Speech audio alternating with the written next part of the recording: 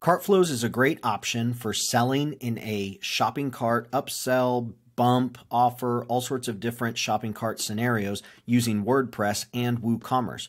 One of the things that's been really tricky for me to figure out is when I create a funnel inside of CartFlows, how do I get rid of the URL uh, um, uh, slug step within the actual URL. Right here, I've got the, my domain and then I've got the URL of the page, but it puts this step right in here. Now, if you go inside of CartFlows into the global settings up here in the upper right hand corner, and then down to permalink, you're going to see an option for default permalinks. Now, I thought, well, as long default WordPress permalink. So if I click that, I click Save Settings. Once you make a change, you have to refresh on this page to get it to on any page to get it to show up. Now that's updated here, and if I click View Step, well, it shows up as Step.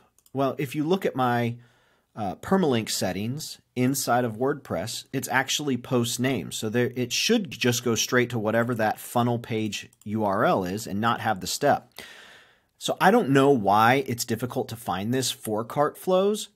Um, it's not readily apparent on their website. I actually had to reach out to support. It's very simple, but it's not straightforward. So let's get back into funnels. Let's get back into global WordPress settings or global CartFlow settings. Let's go down to permalink. And right here is where you make the change. The first change you need to make is to say CartFlows underscore step.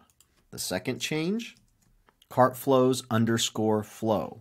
Now we click create or save settings.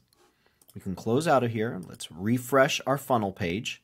And now when we click view step, it opens up and it has the URL only of the page. There's no more step uh, URL uh, in the progression. So right here is what it was. Right here is what it is. Now you do need to have uh, your permalinks inside of WordPress set to post name.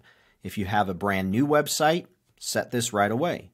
If it's a fairly new website and you're not ranking on SEO, you can go ahead and change this. Um, and you shouldn't expect really any type of changes to your SEO ranking because it's a newer page and you're not getting any traffic.